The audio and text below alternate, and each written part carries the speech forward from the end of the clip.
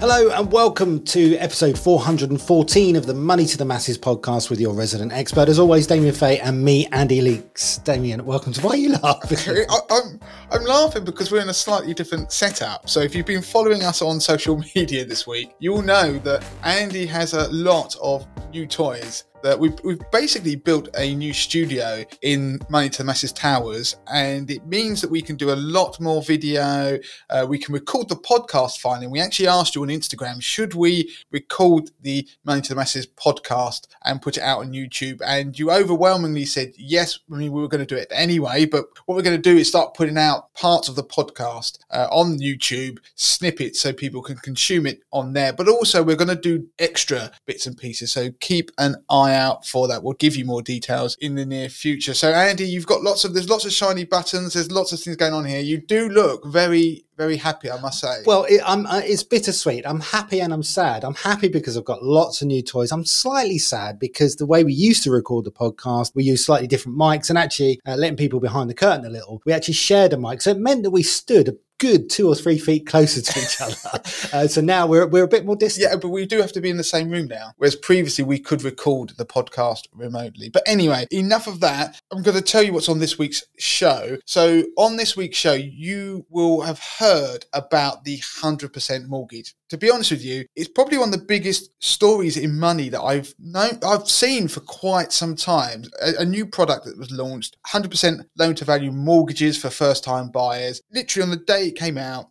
my wife came upstairs and mentioned it to me. My dad texted me. The first thing that everybody in the office said to me at various points, everybody I saw that day, even if they don't uh, gauge with money or know what I do for a living, we're talking about, have you seen that story about 100% mortgages? So I am going to cover what this story is, the 100% mortgages for first time buyers, the pros, the cons, and dig beneath the surface. Then I'm going to do a piece on investing. So I regularly change my portfolio on 80 20 investor. So what I want to do is explain to people about having a watch list. So, like a short list that you use to help you make decisions. It's something that I'd never really thought about in any great depth. I just do these things and suddenly realize that there is a definite process that I go through when I'm making changes or thinking about making changes to a portfolio over a period of time. So I want to give you some insight on that. And the other topic we've been talking about a lot in the office, Andy's going to deal with, and that's fixing energy bills. That's it. I'm going to do a short piece on energy bills. And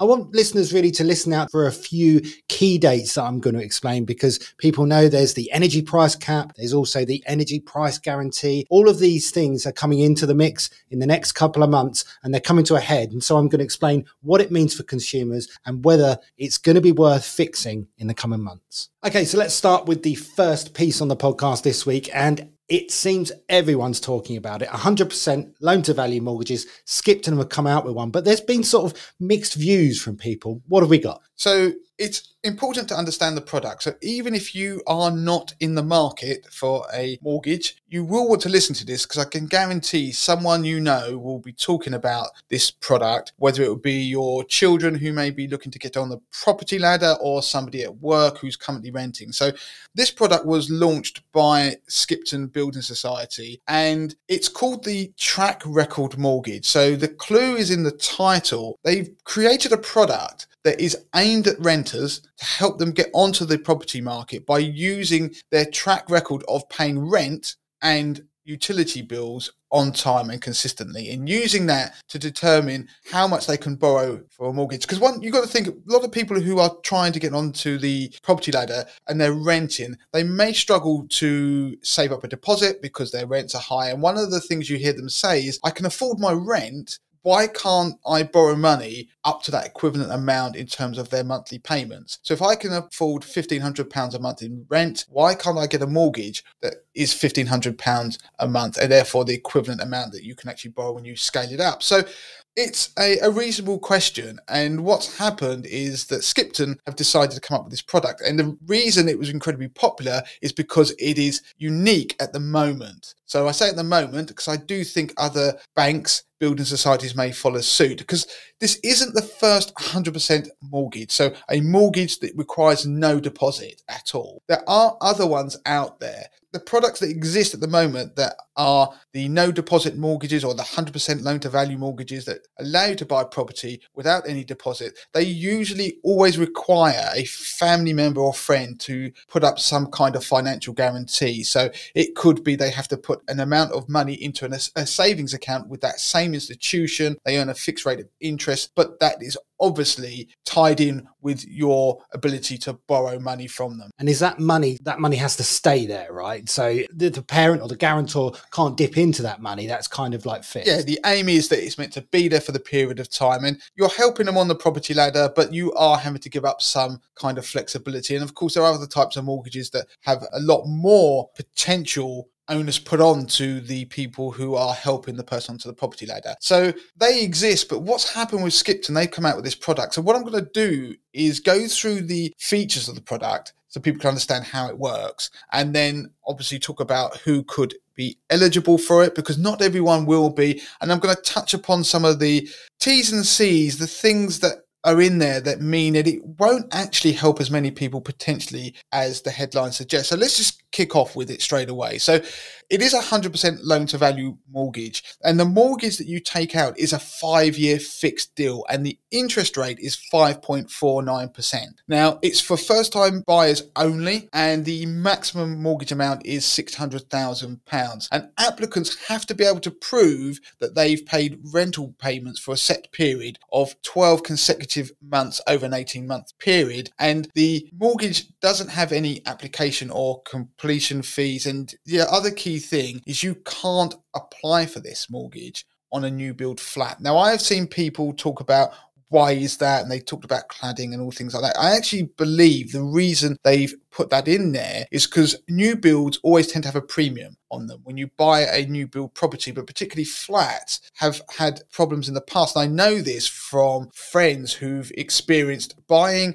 a new build flat on a high loan to value mortgage right in the middle of the financial crisis or just before the financial crisis, in truth. And then the bottom fell out the market as a result of the financial crisis. The property prices dipped, but more importantly, the other properties in the same same building hadn't been sold. So if you go to look at a flat, why would you buy a new build flat where somebody's already living in it versus the one upstairs that has been empty because they've not yet been able to sell it? So that means that people can find themselves stuck and it affects the value of that property. So that person who I know personally, their flat price obviously then dropped from what they'd bought it, partly because of the circumstance of the situation, but also the type of property they had. So that's one of the reasons I think they've put that in there, which seems sensible. Now, you have to be 21 years or older, and technically you can use this product with a deposit as long as it's less than 5%. But obviously the headline is that it's a 100% loan to value mortgage. Now, if you've missed any late payments or any credit card payments in the last six months, then you won't be eligible.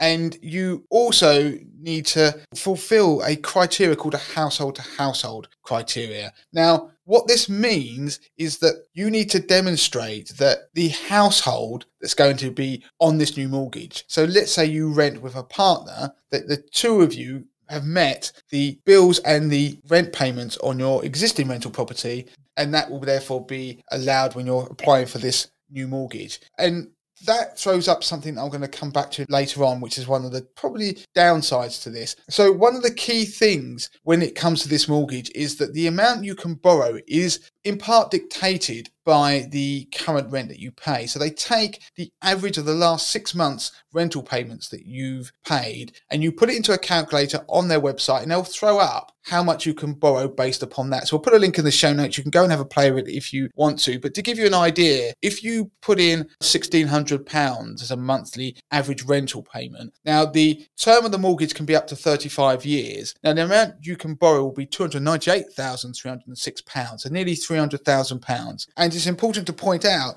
that Skipton stipulate that your monthly mortgage repayments can't be more than the average of the last six months of your rental payments. So the calculator will tell you how much you could potentially borrow. Now, the reason I say you potentially borrow because there's still eligibility checking that's going on in the background. They're still going to assess you in terms of your income and expenditure, and then they'll use that as well to ultimately determine the amount you can borrow. It'll be the lower of the two amounts that they calculate. So it isn't just based on your rent payments, as the headline suggests. There is more to it than that. So you could be in a situation where your income, let's say joint household income or whatever, adds up to a certain amount, but actually you're paying a much higher rent. Maybe you're in a particularly costly area. You might be in a situation where you're paying a lot of rent per month, but when they do the income assessment, the amount you could borrow could effectively be far less than the equivalent property that you'd ideally want. Yeah, so you won't be get the mortgage necessarily. Now, your example leads on to another one. So that is the flip side. So you could have, for example, decided to go and live in a cheaper property, pay lower rent to try and save up a deposit. Then in theory, because your rental payments are lower than what you could probably afford to stretch yourself to, then when they use your rental payment to work out the ultimate mortgage level, and then they do the assessment of your income and expenditure, because you pay very low rent, that will therefore reduce the amount that you will ultimately be able to borrow. Similarly, if you live at home with your parents, which people often do to try and save up a deposit, then it won't help those people either. And the other group of people that it's debatable how it will work, lots of people will move into shared rental so they may be shown to people they don't intend to buy with, then they similarly will have a problem with this mortgage. They will have to still demonstrate the fact that they were able to pay the bills or their share, certainly. And what you've got is if you have people where it's a shared rental property and they're going to buy a property together through this mortgage, then they've got to demonstrate their ability to pay all those bills and the mortgage together. Now, what it does throw up is another interesting example is potentially if you were a couple and you both lived in two different let's say flats that you were renting and you lived alone in each of those and you were each responsible for your own rent and your bills, theoretically, the two rental payments can be combined when you put it into the calculators to work out a potential amount you can borrow as a mortgage. But of course, then you still got to go through that affordability assessment. So there are some nuances, and that's why this product won't be the sort of magic bullet for everybody who wants to get on the property ladder. Now, one of the things I want to point out is, of course, the interest rate. Now, the interest rate is, as I mentioned earlier, 5.49%, which is actually quite high when you compare to other products out there. So I want to give you some examples so people can go away and do the numbers. If you took out this product for a mortgage of £250,000, you're buying a house for £250,000, 100% loan to value, then your monthly mortgage payments with this Skipton product would be £1,341 a month. Now, I've crunched the numbers and looked at if you had a 5% deposit and a 10% deposit and shopped around in the market to get the best mortgage deal elsewhere, not with Skipton. So if you had a 5% deposit, your monthly mortgage payments would drop to £1,129 a month, which is over £200 a month cheaper. And that's because your mortgage rate drops to 4.6%. Now, if you had a 10% deposit and again you shopped around in the market, you could get a mortgage with a rate of 4.42%. That's the best buy at the moment. And your monthly mortgage payments would drop to £1,053, which, when you do the maths, that's almost £300 lower a month. Now, if you look at those numbers, what the Skipton product really does it enables people to get onto the property ladder sooner, which will excite a lot of renters because it solves a, a one problem. By the end of the five year period, what will happen is you will effectively own 5% of the property. You have repaid, this is a repayment mortgage. That's the other key thing. You'll have repaid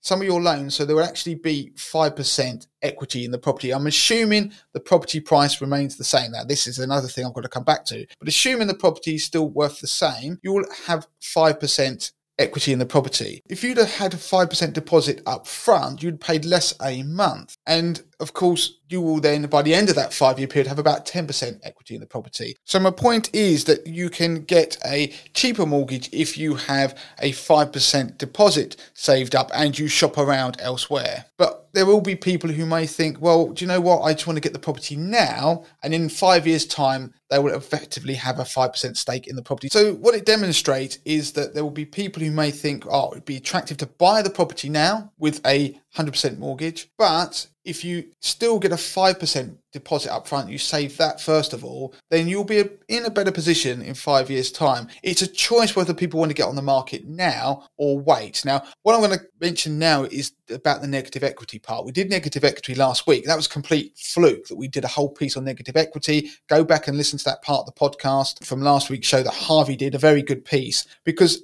we are in a market now where the Bank of England is predicting that house prices could fall 10%. The market has proved more resilient than people had thought. I've just done a video on YouTube about house prices and where they might go in the future. If house prices fall, as people are predicting, then if you pay for a property with a 100% mortgage, you are immediately going to be in negative equity. Now, the one thing I will point out about this product is because they have a five year fixed term and it is a repayment mortgage, that does therefore reduce the potential for negative equity slightly because, as I said, after five years, you technically will have paid off 5% of the property price. So there's enough wiggle room there, in effect, over those five years for the property to fall 5% and you not to be. Yeah, ex- exactly. Affected. Yeah, so, but that's only 5%. So there is this issue with negative equity, which I think is a really big concern. So anybody attracted to this needs to think long and hard about whether they really want to get involved in a property with 100% loan to value. Because I know lots of people who've done that in the past and the market has fallen. And the thing is, we always talk about property prices generally, about where how they rise or fall. But the UK property market is very nuanced. And so there are regions, or there were even, I think, as recently as last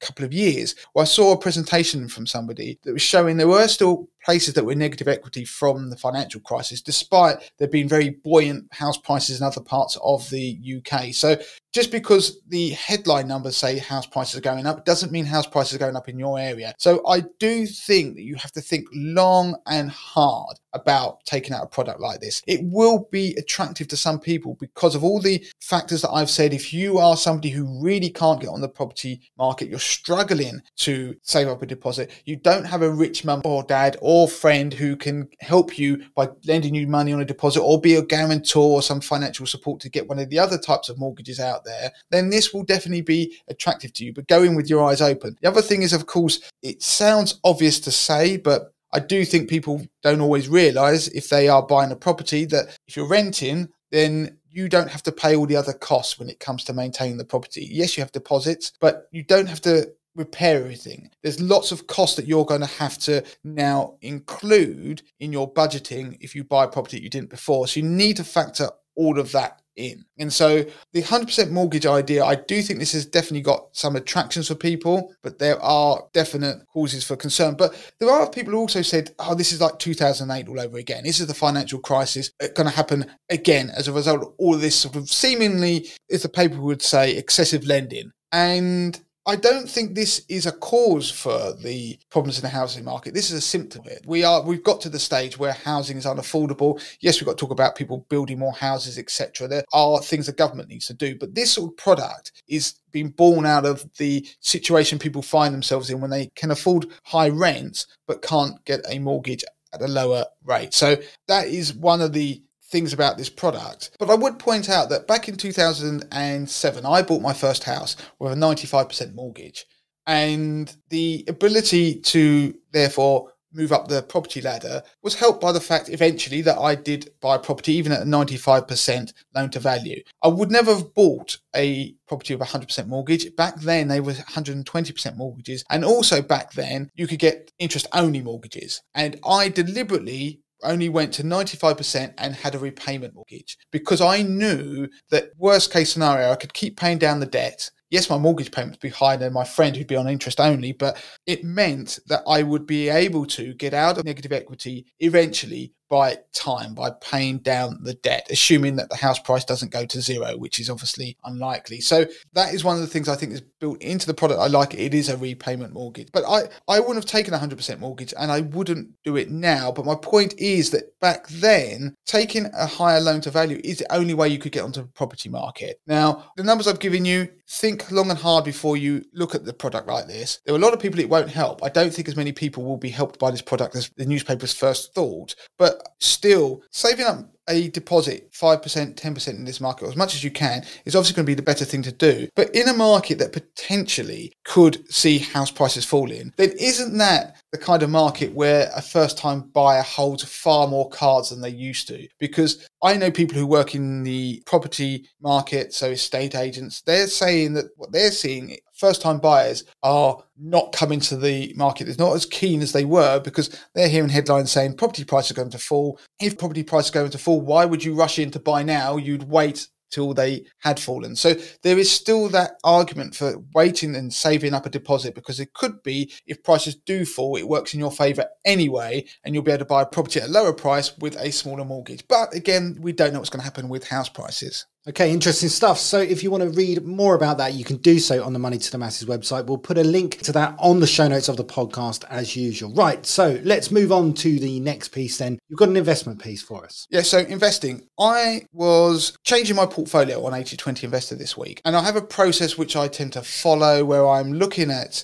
uh, the funds I invest in, how the portfolio is doing. I don't always make changes month to month, I'm reviewing it as I go along. And now I touched upon this before the podcast where I talked about making fund switches. But one thing that I wanted to talk about today, to labour slightly, is the idea of a watch list. Now, by a watch list, what I mean is the funds or investments. So I'm looking at unit trusts. So we're talking funds here on my portfolio. But if you're looking at shares, it may be ETFs, you can still use the idea of a watch list where you can look at a range of investments, pull some down into a short list, and see how they perform with a view of making a decision. So, in my process, what happens, I look at my portfolio from one month to the next. I'm looking how it's performing. And so I look at the constituents, so each fund within that. And I don't make knee jerk uh, decisions, despite the performance might be great or poor one month the next, because we get such quick transitions in market. So it could be that the market thinks that the Fed is going to raise interest rates further, or they're going to cut them, or that it's going to be a recession. And you can see these things happen relatively quickly. The banking crisis was a good example. So in March,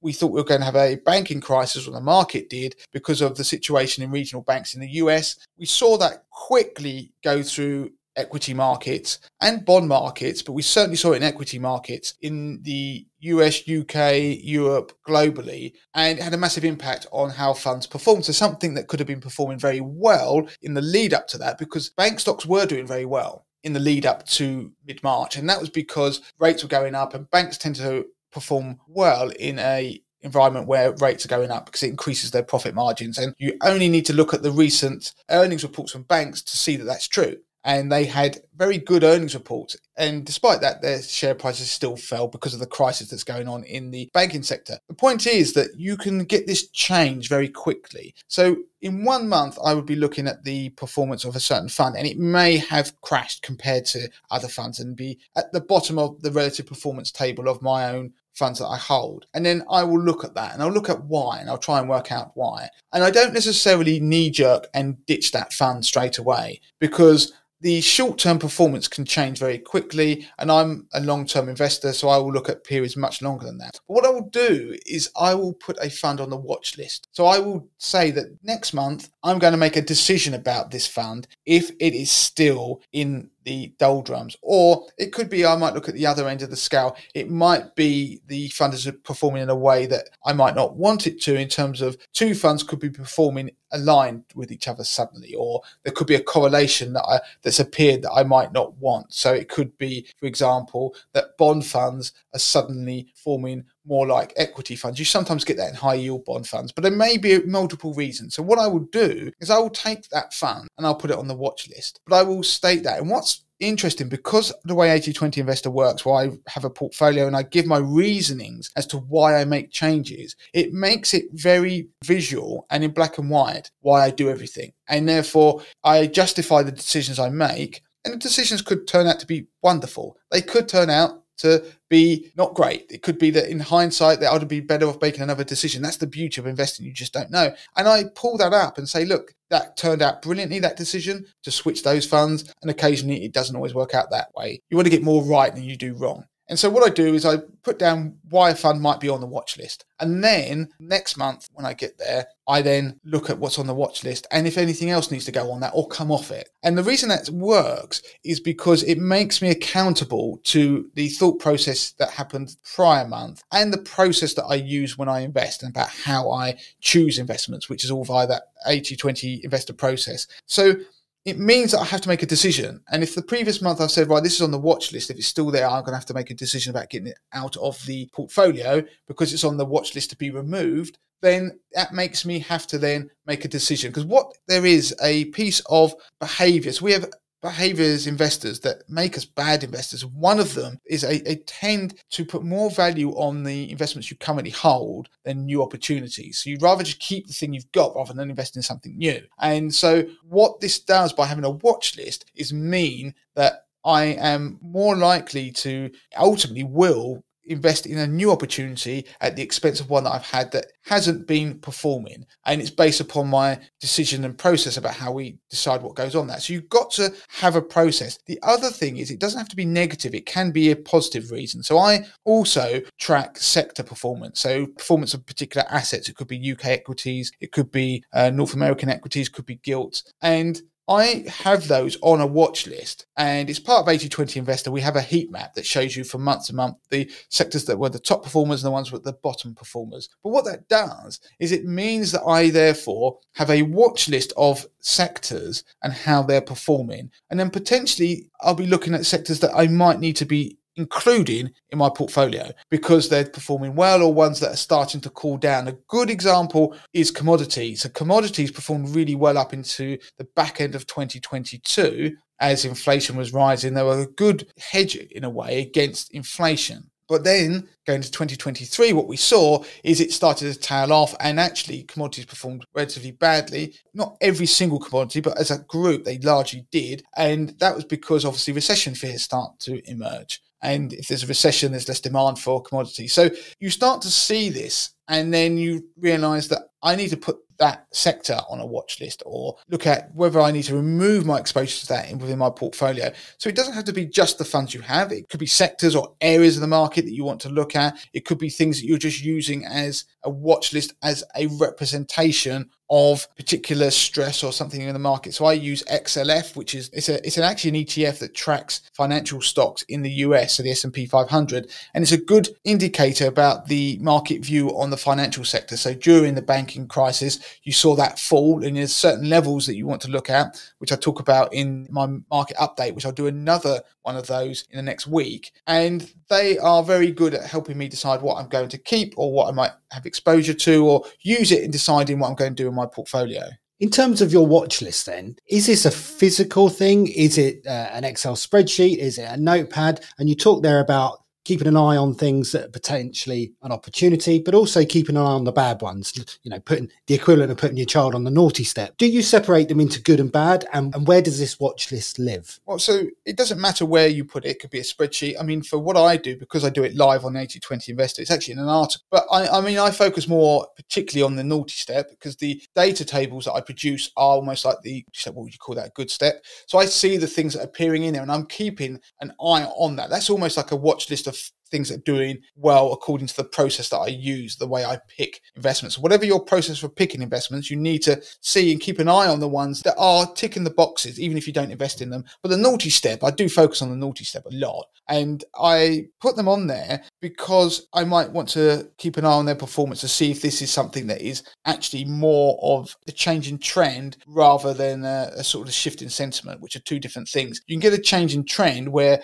there is a dynamic change in the sort of macro backdrop that's happening. So interest rates could suddenly be cut. That would have a massive shift in what would drive investment markets. So the whole macro backdrop has changed. It was a bit like the Ukraine war when that happened. That was a geopolitical event, but it had a massive impact that suddenly it shifted a lot of what happened. So things went on that list and then you'd be like, yeah, I've got to then take action with them. So they exist. I keep an eye on them. There are good examples where things have been on the naughty step and then you think, right, I'm going to get rid of them. And then the very next month, they turn out to be the best thing that you hold and they perform the best. So that is what the naughty step or the watch list is for. So make sure that you think about that. You don't always have to make a decision drastically if you change a portfolio. You can do it over a period of time, not causing you to procrastinate, but making you justify decisions that you're following a process as to why something is on the naughty step. And then you decide to take it off or replace it. And also don't forget that you can phase out of things well. So if you've got investments, don't have to always be, I'm going out this investment, I'm selling all of it.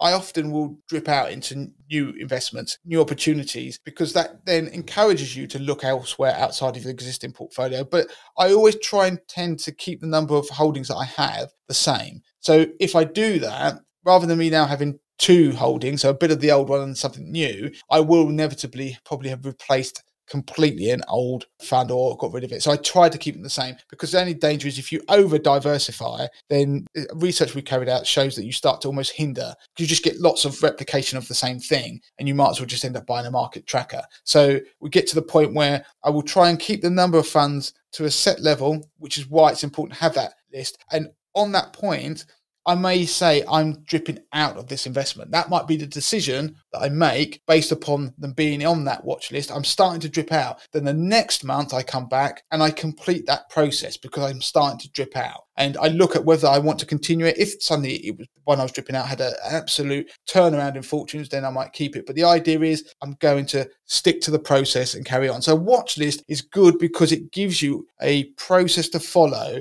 to make you make decisions that are based on some fundamental, some objective facts rather than being reactive and subjective. Okay, so let's move on to the final piece of the podcast. Then we're going to be talking about energy prices and Cornwall Insight, who are the analysts that tend to release a lot of data and predictions around what's happening with energy in the coming months. We give them lots of coverage, don't we? They are so good. If they are the best people when you're looking at anything to do with energy markets and future price moves. And and the thing is, they are good because they make these predictions, and then when it comes to fruition, they're almost bang on almost every time. So right. we can we can actually look at what they predict with some sort of certainty that this is likely to happen. So they've produced some new estimations on where the energy price cap, and I'll explain exactly what that is, where it will be in the coming months and it's good news for consumers. That energy price cap is going down. Now, just to briefly touch on what the energy price cap is, that's not the same as the energy price guarantee. The energy price guarantee is the government subsidy that ensures energy prices remain at a certain level, irrespective of what the energy price cap is. So the energy price cap is set by Ofgem, which is the energy regulator. It is reviewed every quarter. It used to be every six months, but they moved it to every quarter because of what was happening with the energy markets. It was all going a bit crazy. And what it does is it ensures consumers pay a maximum amount per kilowatt hour for a unit of electricity and gas. You don't need to sort of obsess about what that is. When you crunch down the numbers, it's a pence per kilowatt hour, and there's a daily standing charge as well. So you've got to think that what used to happen in a fully functioning normal energy market, we would all be paying our energy bills. We could shop around, we could find the best deal, you could fix your energy price, and we didn't think about energy price caps because energy price cap was really introduced to help consumers who didn't shop around, who just stayed on the standard tariff with their provider. But it wasn't until the, obviously the inflation came along and we had the Ukraine war that pushed up energy prices even further that the energy price cap became the level at which everybody started paying because people realized they were better off to stay on the standard tariff. But of course, then that wasn't enough to help consumers because obviously that would therefore have to be increased in line when it was reviewed with the actual energy price. Hence, the government stepped in with the energy price guarantee, which they just basically subsidized all of our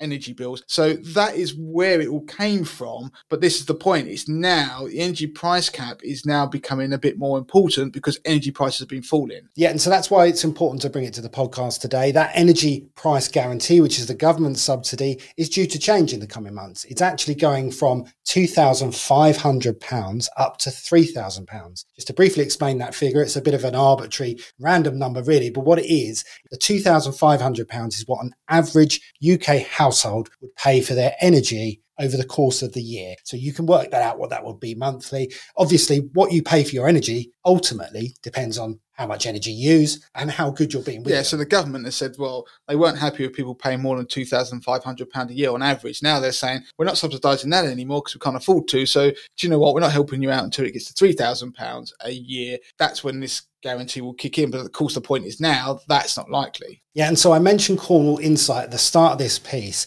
and they come out with the figures, and the energy price cap set by Ofgem is predicted to be capped at going forward as of the 1st of July. Just over £2,000, £2,050 roughly. Now, the energy price cap at the moment is set at 3,280. So we're seeing a massive shift from suddenly thinking about this energy price guarantee figure of 2,500 going up to 3,000. The energy price cap now coming down from 3,200 to 2,000. So the upshot is that if you're a consumer, given that we're now going to be talking about price caps, as in the highest price you can be charged per kilowatt hour on the standard tariff, is now going to mean that the average household now pays £2,200 a year. That's what you're saying that Cornwall Insight are predicting is going to happen soon. So that is a, a, that's a big shift, and that's presumably because of the falling price of oil and commodity prices, as I mentioned in the last piece, actually. Yeah, that's right. So from the 1st of July, Cornwall Insight, I'll just pick you up on that. It's, it's 2050 rather than 2200. But that's the figure that we're now looking at as the baseline, if you like, for your annual energy bills for the average UK household. So you've got around six weeks until these changes are likely to happen. That begs the question whether fixed price energy tariffs are going to be a thing of the future. So what we're saying to you is keep in mind energy prices are going down. Switching energy providers may be something you want to consider going forward. Keep an eye on what's happening with those energy prices. The easiest way to do that, to be honest, is to bookmark the article that we've written on the Money to the Masses website. We'll put a link to it in the show notes because as the predictions are coming through, we're going to update. We've got a lovely little image that you can see in that article that predicts the I line. would say that Andy says it's lovely because he drew it. You created it, and it is a very lovely image, but it shows you what the prediction is, doesn't it? And so we'll, a- we'll update that. That's right. It's a very easy image that you can see. You can see where the lines are effectively, where the predictions are. Just be aware of, though, because this is key that the energy price cap set by Ofgem only applies to the default standard variable tariff. It doesn't impact fixed price deals. So once you've fixed in, you're kind of going to be stuck on that. I mean, there, there were some exceptional circumstances during the energy crisis where if you fixed at a certain point, you could get out of it penalty free, but that's unlikely to happen going forward. You may have to pay a penalty. You may be stuck on that deal. So just think carefully before you switch. So I think that's a great piece. And like you say, what's likely to happen now? The idea of fixing energy bill or shopping around is likely to start to come to the fore over the summer months and the rest of 2023 if the predictions do hold true. And as we said, Cornwall Insight do have a very good track record of predicting and making accurate predictions about where these prices are headed. So great, that's it now for this week, Andy, isn't it? We are done. So I just have to say, as usual, please make sure you review the podcast. We haven't had many reviews of late, so I'm very disappointed. Keep Andy and I motivated as well as the team by going on there and giving us a glowing five star review. So please make sure that you do that if you've not done it ever. If you've not done it recently, then do it again and write something very nice. We'll likely read the best reviews out and you could win a Money to the Masses mug. Don't forget to join our Facebook group, facebook.com forward slash groups forward slash money to the masses and do follow us on all our social channels one last thing i will mention actually is the train strikes that happened this week we have updated our article on the compensation and refunds you're entitled to regarding single train tickets, concerts you didn't make it to, if you didn't make it to Eurovision, for example, or season tickets. We'll put a link to that in the show notes as well. It's, as it's all in there. And we also shared all of that on our social channels. So I think that's it, Andy. All that's left for me is to say until next time. Until next time.